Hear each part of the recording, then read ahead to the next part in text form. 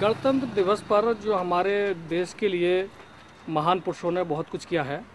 और उसकी पूरे देश के लिए मैं गणतंत्र दिवस पर हार्दिक बधाई देना चाहता हूँ। जो हमारे बच्चे आजकल निकल रहे हैं बहुत बहुत अच्छे निकल रहे हैं, और पढ़ाई जैसे ये सरस्वती शिशु मंदिर है उनमें एक संस्कार सिखाया जाता है, और संस्कार